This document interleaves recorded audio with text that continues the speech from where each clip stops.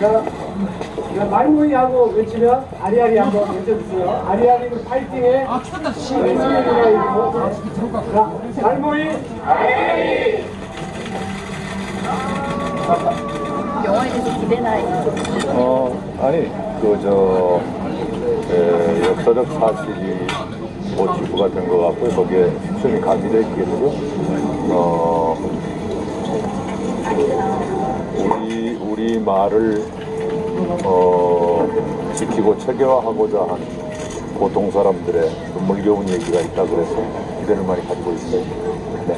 네, 형님 요즘에 한일 관계가 상당히 좀 어려운 상황인데 네, 거기에 대해서는 말안 하는 것이 좋겠습니다. 네, 혹시 셀카 한번 찍어도 될까요? 감사합니다.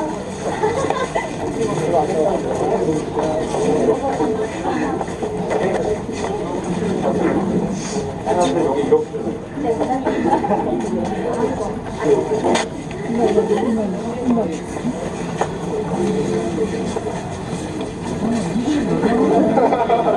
아니